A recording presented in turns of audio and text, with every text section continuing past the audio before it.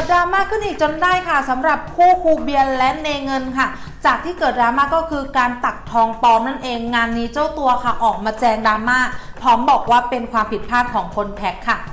กำลังเป็นกระแสฮอตกระแสฮิตมาก ๆ ค่ะสำหรับพ่อค้าแม่ค้าออนไลน์กับการขายของแบบสุ่มตักค่ะ ก็คืออย่างที่ทุกคนเข้าใจเลยว่าตักขึ้นมาไม่ว่าจะได้อะไรหรือว่าจำนวนกี่ชิ้นเนี่ยลูกค้าก็ต้องรับไปพ่อค้าแม่ค้าบางเจ้าเนี่ยเขาเลือกที่จะจูงใจลูกค้าด้วยการใส่แจ็คพอตลงไปค่ะ ไม่ว่าจะเป็นทองหรือโทรศัพท์มือถือ หรือว่าจะมีเงินสดบ้างค่ะ ต้องบอกเลยว่าเป็นกลยุทธ์การขายของของพ่อค้าแม่ค้าออนไลน์นั่นเอง เช่นเดียวกับคู่รักคู่นี้ค่ะ ก็คือเนเงินกับครูเบียร์ที่ทั้งคู่เนี่ย ได้ทำการขายแบบสุ่มตักเหมือนกัน ซึ่งในบอกเขาค่ะก็มีสินค้าที่เขาทำออกมาขายนี่แหละ ได้มีการตัก และก็ได้มีการใส่รางวัลแจ็คพอตด้วยก็คือทองนั่นเองค่ะ ซึ่งทำให้ลูกค้าหลายคนเนี่ยก็เลือกที่จะมาร่วมรุ้นสนุกไปกับคู่รักอย่างครูเบียในเงินนั่นเองจนต่อมาค่ะก็กลายเป็นกระแสดราม่าขึ้นจนได้เมื่อมีลูกค้ารายหนึ่งเนี่ยเขาได้อัดคลิปลง TikTok ค่ะบอกว่าได้รับทองปลอมจากการซื้อสินค้าแบบสุ่มตักของครูเบียและเนเงิน จนกลายเป็นกระแสวิพากษ์วิจารณ์กันอย่างต่อเนื่องและ ต้องบอกว่ากลายเป็นกระแสดราม่าขึ้นอย่างหนักเลยก็ว่าได้ค่ะ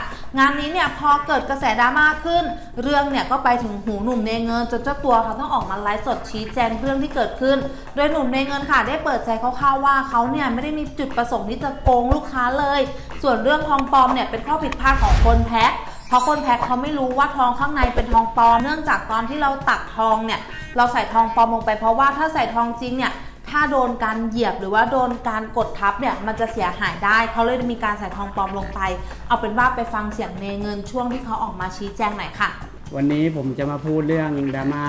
กล่องสุ่มตักนะครับ ซึ่งแบบว่าบางคนได้ทองปลอมไปบ้าง บางคนยังไม่ได้ของบ้างยังไม่ได้อะไรบ้าง แต่ผมจะพูดชี้ชัดให้ฟังว่า ตักของเราแค่ตักละ 280 บาท เราไม่มีจุดประสงค์ที่จะโกงทุกคนนะครับ คือ เรื่องทองปลอมนั่นคือ มันเป็นข้อผิดพลาดของทางคนแพ็คเราได้จ้างคนแพ็คมานอก แล้วเขาไม่รู้ว่าทองข้างในอะมันเป็นทองปลอมตรงที่ว่าตอนตักอะถามว่าทำไมเอาทองปลอมขึ้นมา เพราะถ้าเข้าไปในที่ตักแล้วเข้าไปในสระแล้ว ถ้าเหยียบเท่าไรมันทำให้ทองเสียหายได้ ทีนี้ คนแพ็คก็ไม่ได้รู้เพราะไม่ได้บอกไว้ก่อน ทีนี้เขาก็แพ็คแพ็คไป แล้วก็ทำการให้การส่งผิดพลาดไป มันทำให้มีดราม่าขึ้นมาใน t ิ k t o k ว่า การส่งทองปลอม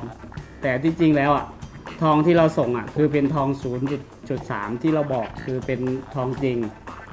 แต่ทองจริงอะเราจะรีแพ็คใหม่ แต่วันนั้นอะเขาติดกล่องไปแล้วพอติดกล่องติดชื่อไปแล้วทำให้แบบการส่งผิดพลาดเข้าไป มันทำให้แบบทุกคนที่ สั่งของมาทุกคนที่สั่งตักมามันได้รับความเสียหาย แต่ เราก็พยายามติดต่อไปหาทุกคนเพื่อที่แบบจะแก้ แก้ตรงนี้ก็คือแบบแก้ ส่งทองนั้นคืนมาแล้วก็ส่งทองใหม่ให้ทองจริงไปให้ทุกคน เราไม่มีจุดประสงค์ที่จะโกงทุกคนต่อมาไม่นานค่ะด้านครูเบียเองก็ได้ออกมาเขียนแคปชั่นชี้แจงดราม่าดังกล่าวค่ะที่เกิดขึ้นก็คือครูเบียเนี่ยออกมาชี้แจงว่า เนื่องจากประเด็นซุ่มตักเราตักรอบแรกเกิดการเหยียบทองจนเบี้ยว รอบที่ 3 เราเลยใส่ถุงทอง และแหวนทุบสีทองเพื่อไม่ให้เกิดการชำรุด แต่แอดมินแพ็กผิดพลาดไป 2 คน ซึ่งเราได้มีการเปลี่ยนให้แล้ว ดังนั้นกลับขอโทษในความผิดพลาดในครั้งนี้ด้วยค่ะ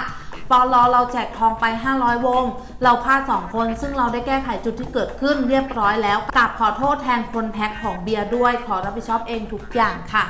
ต้องบอกเลยว่าหลังจากที่เกิดกระแสดราม่าขึ้นค่ะ ทั้งคู่ได้มีการออกมาชี้แจงอย่างเร่งด่วนค่ะ และได้มีการเคลียร์คับทุกประเด็นที่เกิดขึ้นแล้วค่ะ แต่อย่างไรก็ตามค่ะหลังจากที่ทั้งคู่ได้ออกมาชี้แจงเนี่ยหลายคนก็กลับมองว่า นี่เป็นการโยนความผิดพลาดโยนข้อผิดพลาดที่เกิดขึ้นเนี่ยให้กับคนแพ็คหรือเปล่าเพราะทั้งคู่บอกว่าเป็นข้อผิดพลาดที่เกิดขึ้นจากทีมแพ็คของนั่นเองค่ะ ยังไงก็ตามถ้ามีเรื่องราวมาอัปเดตอีกทางเพจบราเมาจะมาอัปเดตคุณผู้ชมได้รับชมอย่างแน่นอนค่ะ